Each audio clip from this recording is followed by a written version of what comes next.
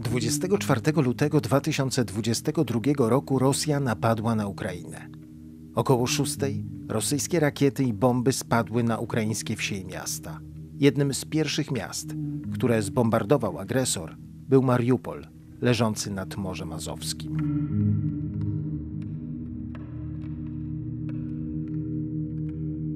Ciągu niemal trzech miesięcy Mariupol został zrównany z ziemią. Świat zapamięta na zawsze jego obrońców, żołnierzy broniących się w kombinacie Azowstal.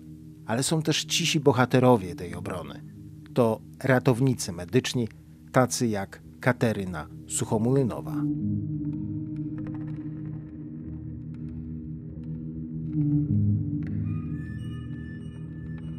Mariupol. Śmierć i łzy. Reportaż Macieja Jastrzębskiego.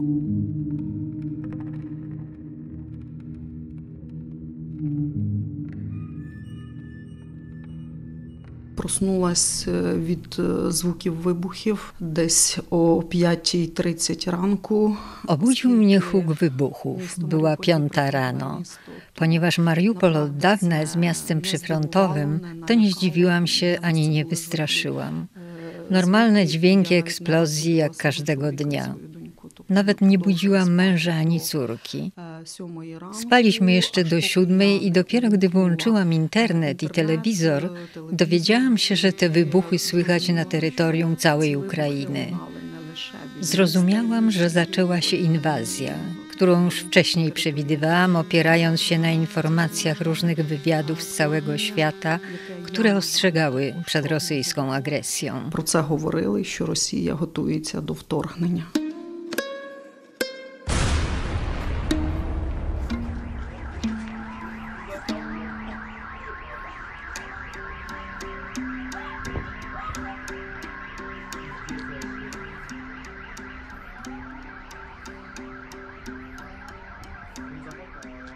Перша думка яка?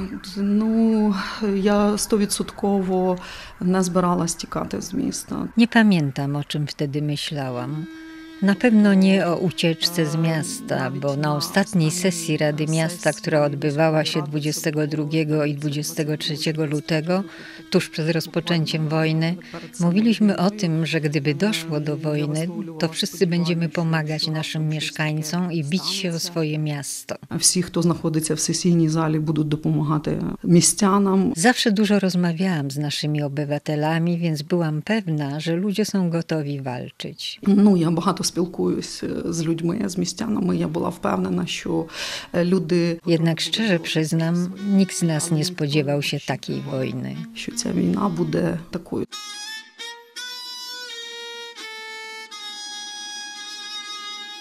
Z 16 roku. W 2016 roku zostałam ratownikiem medycznym. Nasz ośrodek ratunkowy liczył ponad 2,5 tysiąca osób. Przygotowywaliśmy się do działania w nadzwyczajnych sytuacjach, żeby ratować ludzi i samych siebie. 24 lutego wydawało mi się, że byliśmy gotowi, ale gdy wojna się zaczęła, okazało się, iż nikt z nas nie był na coś takiego przygotowany.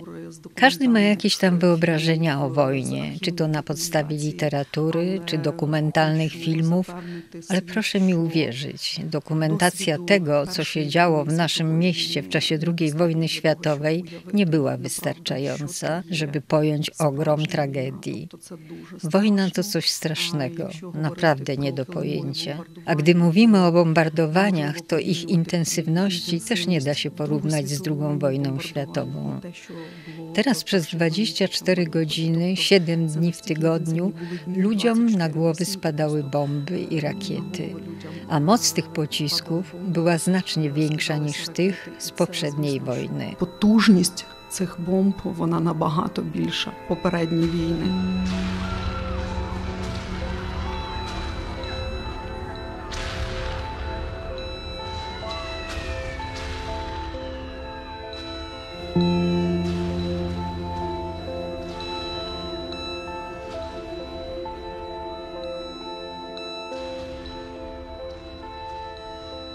що говорити що найстрашніше? Co było najstraszniejsze? Ну, то, напевно, це коли ти йдеш вулицями. Вулицями рідного міста. Na pewno obrazy, które widzisz, gdy idziesz ulicami zbombardowanego miasta. Тіл. Ciała ludzi po obu stronach ulicy. Bardzo dużo ciał, może dziesiątki, a może setki. Jako ratownik ochotnik jeździłam w różne rejony miasta. Z lewego brzegu rzeki przewoziłam ludzi do centrum, do miejskiego szpitala. Po pewnym czasie straciłam rachubę, nie liczyłam już leżących na ulicach trupów. Mówię tylko o tych, którzy leżeli na powierzchni, a iluż ludzi pozostawało pod ruinami budynków. Тобто я вже мовчу про те, скільки людей загинуло під уламками будівель. В Маріуполі це не один будинок. W Mariupolu nie ocalał ani jeden dom. Фактично Ponad більше 90% 90% infrastruktury житлового mieszkalnej фонду zostało zniszczone. І це Z około більше 600 budynków будівель zostały tylko знищених zgliszcza, повністю. pod którymi Те byli от zabici i завалами, ranni. е, Ludzie люди wołali o гинули ratunek, тижнями. krzyczeli, Тобто вони jęczeli, кричали, вони umierali w стогнали, wyniku вони odniesionych помирали ran від голоду, z від głodu того, i що zimna. на них це Chcieli обвалилося, uciec, ale nie вони mogli, були просто bo замкнені, gruz не могли zwalił вийти się звідти. na nich i nie mogli wyjść. Світу ще Przyjdzie раз czas стоїть, i świat w а, pełni оцінити oceni rozmiar масштаби tragedii трагедії Mariupola, Маріупольської, ponieważ jestem тому що pewna, że w nowożytnej historii czegoś takiego nie było. Такого, як відбувалося в Маріуполі в новітній історії, я впевнена, що немає.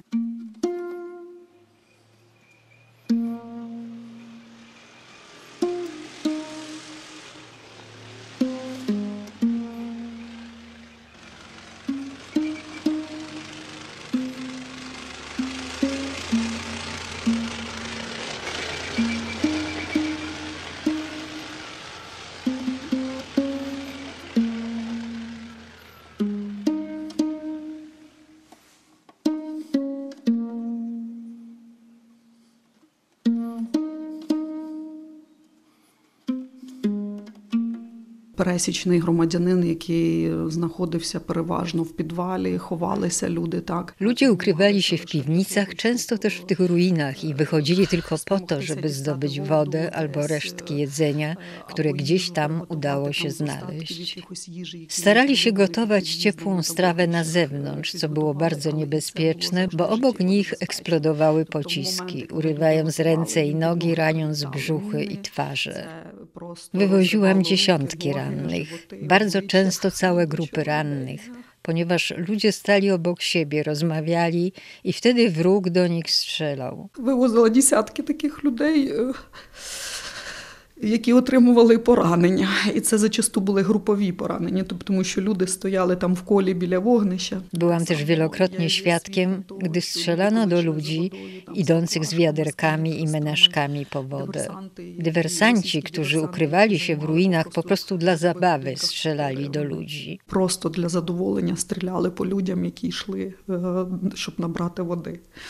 Naprawdę nikt nie przypuszczał, że działania zbrojne będą tak intensywne, a sytuacja pogarszała się z każdym dniem. Część ludzi chciała wyjechać, ale Rosja blokowała korytarze humanitarne. Sytuacja z dnia na dzień komplikowała się i w końcu ludzie ze strachu rezygnowali z wyjazdu, bo stwierdzali, że jest zbyt niebezpiecznie. Po prostu bojali się nawet wyjechać, bo to było życiowo niebezpieczne. Część to starała rozpocząć żal na głowie.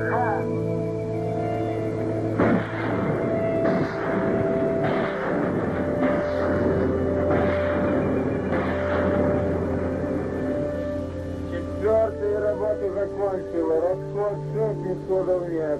Принял четвертое.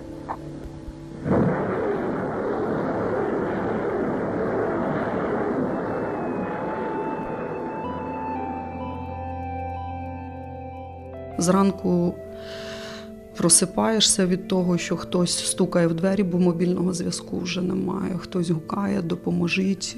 Się rano, ktoś puka do drzwi, bo telefony już nie działają i błaga o pomoc. Ludzie wiedząc, że jestem ratownikiem, przychodzili po prostą pomoc medyczną albo chcieli, żebym szła z nimi do ciężko rannych. Я їхала або йшла в якісь е, під'їзди з людьми. Часто було страшно, тому що Poruszałam się pieszo albo swoim samochodem, a później już tylko pieszo, bo samochodem nie dało się ominąć gruzów i lejów po bombach. Jechałam, wchodziłam do klatek schodowych i naprawdę bardzo się bałam. Raz, że po drodze świszczały kule, a dwa, nie znałam tych, do których szłam. Brałam plecak ze sprzętem i nie wiedziałam, czy wrócę. Były z nami dzieci, moja córka i dwoje dzieci koleżanki. Wychodziłam z domu albo z biura, wiozłam ludzi do szpitala i nie wiedziałam, jak długo to potrwa. Można było stracić godzinę albo nieraz pół dnia. Tam zamiast drogi był prosto krater radiusum, tam nie znaju, boże...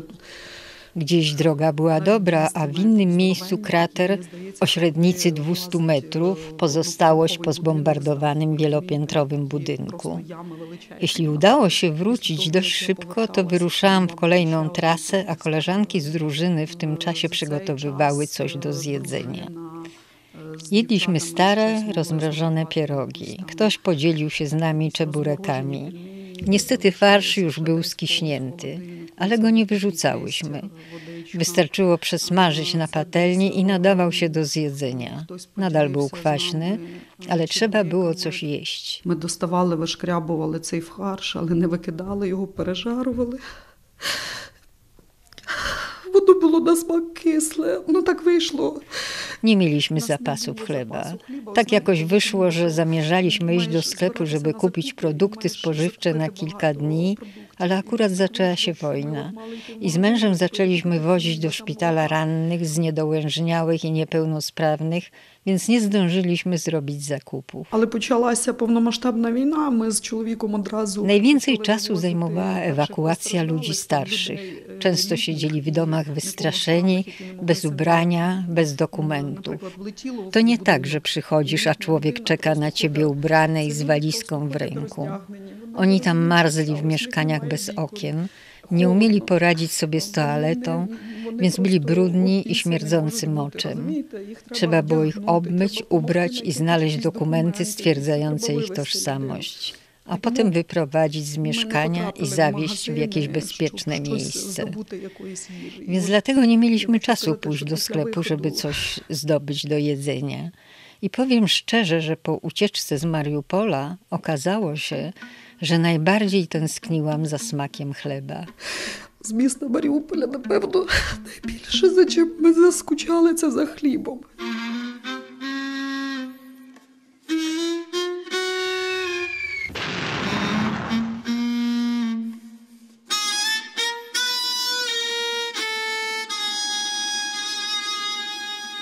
Люди можуть відчувати голод, можуть не mати chleba. We współczesnym świecie są ludzie, którzy marzną i nie mają chleba, ale pamiętajmy, że mieszkańcy Mariupola nie mają w ogóle jedzenia, nie mają dostępu do czystej wody i nie mają dostępu do pomocy medycznej. My siedzimy w ciepłych mieszkaniach, a oni tam nie mają ani ogrzewania, ani światła. W najtrudniejszej sytuacji są starzy i dzieci. Im po prostu każdego dnia zagraża śmierć. Oni tam nie mają prawa poruszać się po mieście. Nie mają nawet prawa, żeby wyjechać na terytorium kontrolowane przez Ukrainę. Im tam naprawdę jest strasznie. Dużo straszno, dużo straszno.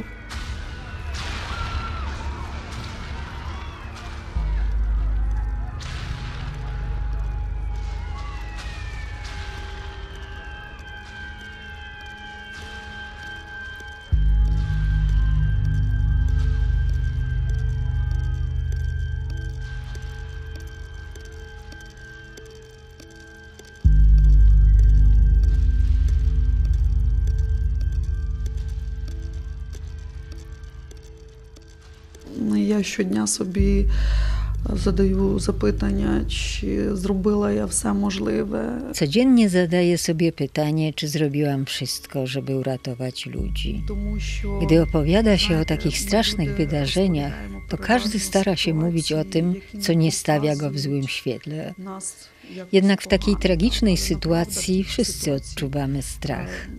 Działamy instynktownie, żeby w pierwszej kolejności ratować siebie. Bardzo często po prostu uciekamy.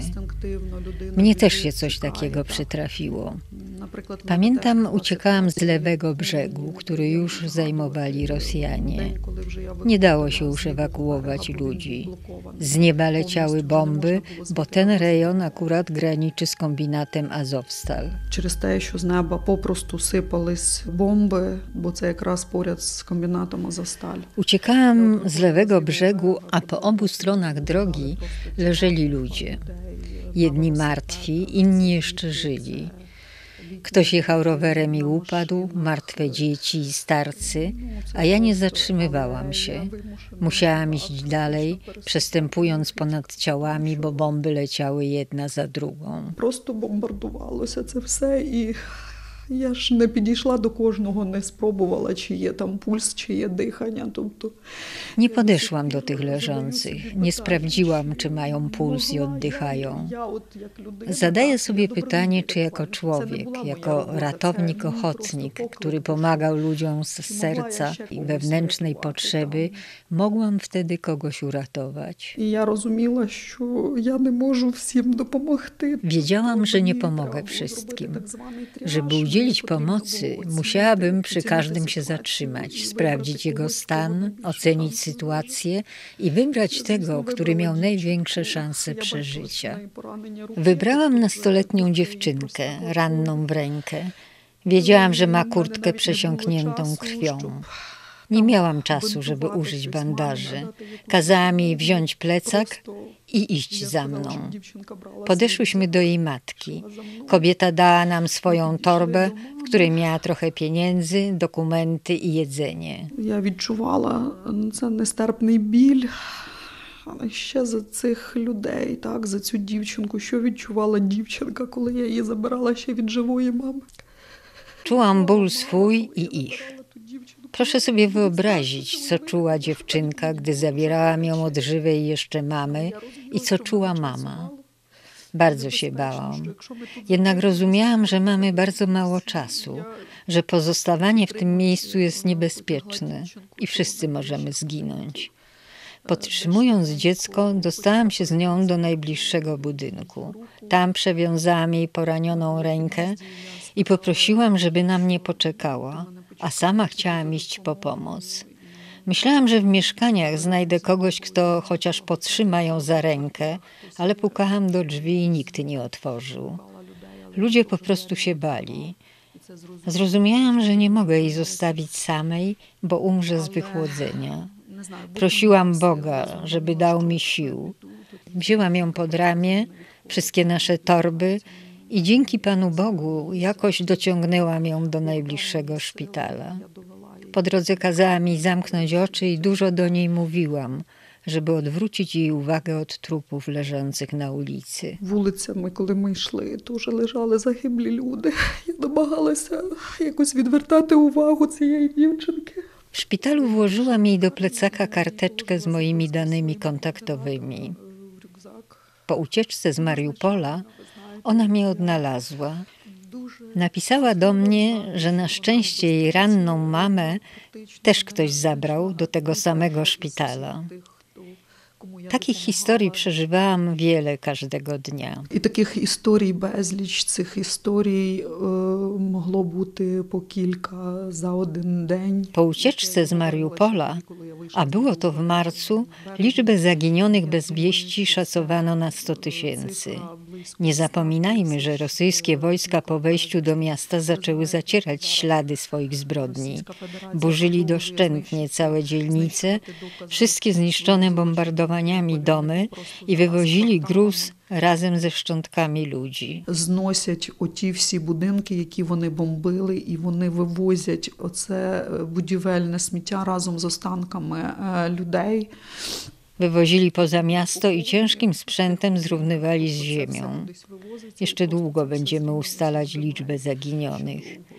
Nie wiemy przecież, ilu naszych oni siłą deportowali do Rosji. Najtrudniej będzie ustalić los tych, którzy zaginęli całą rodziną i nikt nie będzie ich szukał. Nie będziemy wiedzieli, czy ich przetrzymują gdzieś w piwnicach czy w łagrach jako jeńców wojennych. Wiemy, że Rosja więzi naszych żołnierzy, ale też cywilów. Wszyscy wiedzą, że Rosjanie nie przestrzegają żadnych konwencji. Oni nie udzielają pomocy medycznej jeńcom, morzą ich głodem. Świat już widział, w jakim stanie wracają z niewoli nasi żołnierze. Ci ludzie, byli jeńcy, na pytanie, co tam się dzieje w tej niewoli, odpowiadają, że wszystkie okropności, jakie tylko można sobie wyobrazić. No, na pytania.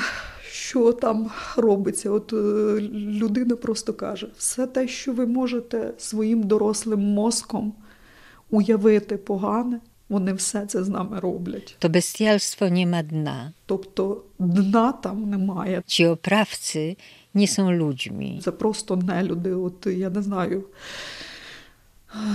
Świat już chyba dostrzegł, że w tych działaniach są wszystkie znamiona ludobójstwa dokonywanego na Ukraińcach przez Federację Rosyjską. Я думаю, що сьогодні весь світ бачить що є всі прояви ознаки геноциду над українцями, які чинить сьогодні Російська Федерація.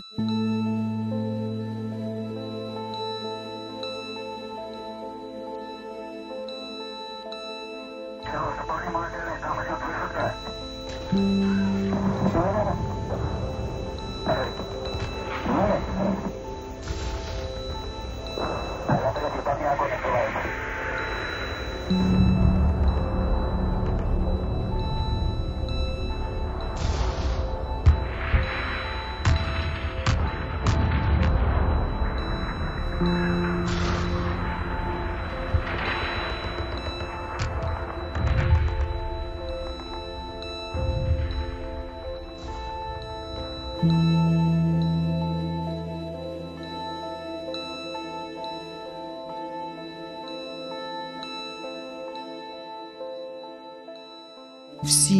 маємо докласти максимум зусиль. Wszyscy musimy dołożyć wszelkich starań, żeby nie tylko skończyła się wojna, ale żeby każdy, kto czynił zło, odpowiedział za swoje postępki. Nie zwrócimy już życia naszym bliskim, nikomu nie zwrócimy życia, ale Rosjanie muszą za to odpowiedzieć. I nie jest to odpowiedzialność wyłącznie Putina. To jest odpowiedzialność wszystkich Rosjan. To oni stworzyli drugiego Hitlera. Jeśli oni dziś nie wychodzą na ulicę i nie protestują przeciwko wojnie, to znaczy, że przyjmują odpowiedzialność za działania swojego przywódcy i głównodowodzącego. Co oznacza, że oni podzielają odpowiedzialność głowy держави, головнокомандуючого своєї країни.